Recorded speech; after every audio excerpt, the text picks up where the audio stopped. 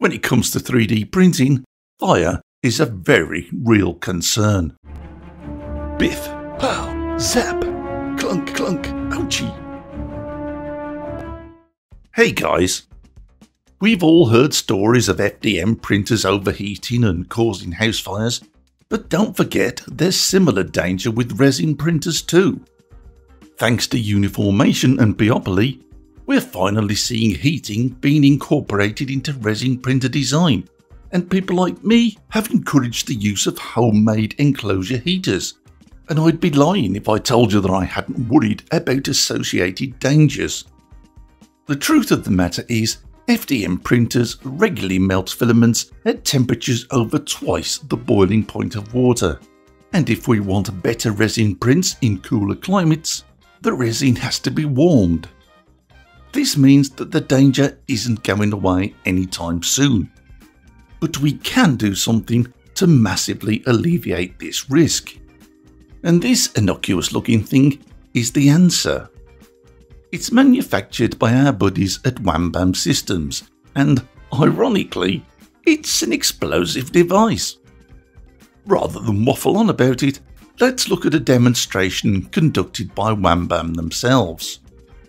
Here, they're simulating a fire that could be caused through overheating. The cloud, as it's called, and you'll see why that is in a moment, is easily attached with a provided Velcro like material. The fire is lit and, don't blink, there, it's extinguished. And now you know why it's called the cloud. You never want to throw water on an electrical fire and Wham Bam have correctly used a non-toxic powder to do the job. Beyond a doubt, this device is best used in an enclosed space, but here Wham Bam demonstrates its effectiveness without an enclosure. Okay, it works, that's for sure, but I don't think I'd fancy cleaning up all that mess. I personally will stick with an enclosure.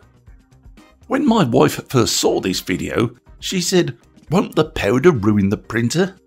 And I said to her, if it's on fire, then it's already ruined. And better a small mess than a burnt down home. But apparently, the powder itself won't cause any actual damage. It just needs cleaning up. Now, an important point here, guys, is that the cloud will only activate if it comes into contact with flame. Heat and smoke won't do the job. This means that the cloud must be placed in close proximity with your printer, such as on an adjacent wall, on the printer itself, or at the top of the enclosure.